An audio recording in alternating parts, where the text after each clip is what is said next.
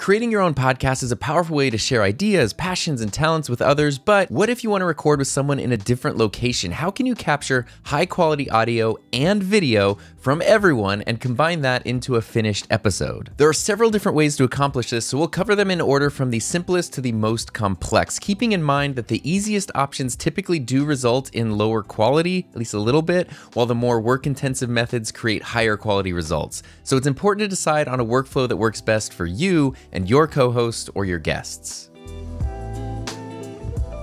The simplest method to record remotely is to use a browser-based service specifically designed for podcasting and or streaming. Browser based in this case means that you can rely on an online service to handle the recording and all the heavy lifting, and that's great if you're using an older computer or a less powerful computer since it takes all of that processing away from your computer and puts it online. But remember, in this case, a fast and reliable internet connection from everyone involved is very important so that you have the best quality audio and video signals to work with. This method allows you to share a link with your co host or your guest who can then sign in via a web browser, select a camera source and an audio source, and then they are good to go. You can then control all of the recording options, and everything can be downloaded to your computer when the recording is finished, which is great because other than making sure that the other person has a camera and a microphone, they don't have to do any extra work in this process. And anytime we're talking about podcasting with other people, it is very important to make sure that things are as easy as possible for your co hosts and your guests. There are quite a few different online services that can do this, but Riverside.fm and StreamYard are two of the most popular and easiest to use. They're very highly rated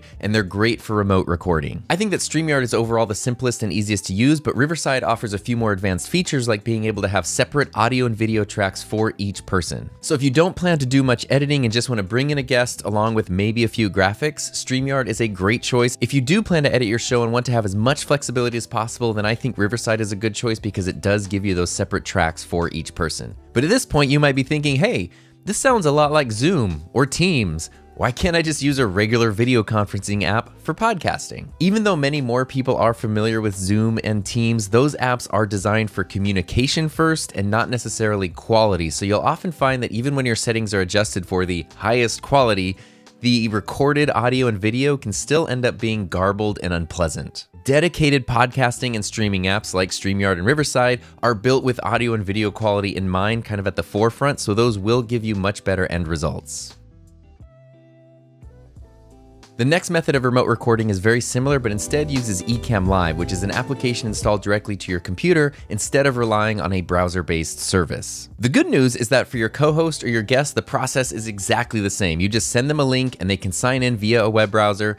But since you are now using a dedicated application on your computer, you will have way more options when it comes to how you want to set up your show and all of the different customization and add ons and all the really fun stuff to kind of level things up, especially visually when using Ecamm Live. And just like Riverside, Ecamm can record separate audio and video tracks for each person, but you also have an almost unlimited flexibility when it comes to adding graphics and creating different scenes and really taking your show to the next level. You can also dive into all kinds of settings for both audio and video, including full 4K recording. And since this is all being done on an app that's installed directly on your computer, it is a bit of a blessing and a curse. You get a lot more power, you get a lot more customization, but you also then do need a more decently powerful computer. And Ecamm is Mac only software, but fortunately, pretty much any of Apple's M1 or newer series computers can run it really, really well.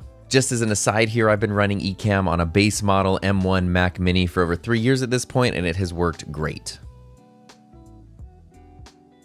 Finally, the last method we'll talk about is the most complex, but it will give you the highest quality files to work with, which will lead to the best overall results. This involves having everyone record separately from their locations and then sending you or whoever's going to edit your podcast those files afterwards. So, since you'll be working with files recorded locally by your co host or your guests, files that haven't had to be sent and compressed through any streaming or recording software, they are going to be the best and most consistent quality. Even a great app like Ecamm, which I absolutely love, can't fix a bad internet connection. So if someone's internet speed gets slowed down while recording, you're going to be stuck with that lower quality that the app captured while you were recording. Using this remote recording method means that you can use an app like Zoom or Teams or FaceTime, anything that lets you see and hear each other because you're not using any of that audio or video, you're using separate files. That's just while you're recording. So if somebody's network connection kind of drops out and things get garbly, it's not going to matter because the actual recorded files are still going to be perfect quality. Now the downside to this method as you may have guessed, is the amount of work involved. It is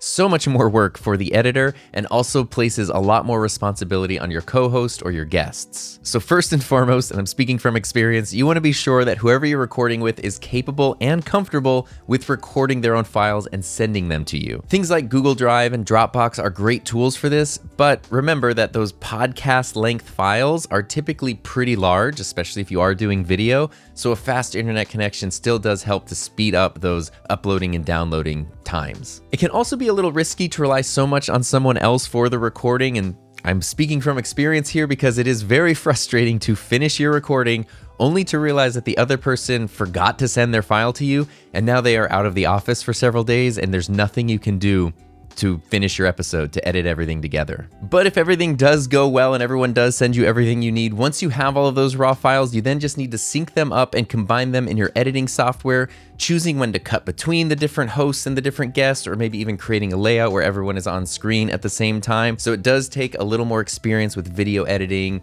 and that whole process in order for things to work really well. So with that in mind, this method does usually work best if you record with the same person every time, like a co-host, because then you can work together to quickly establish a procedure and a workflow, and then things can flow really smoothly after that. This process can be tough to do with guests since you need to explain the workflow from them from start to finish every time, and some people just simply aren't comfortable handling their own recordings.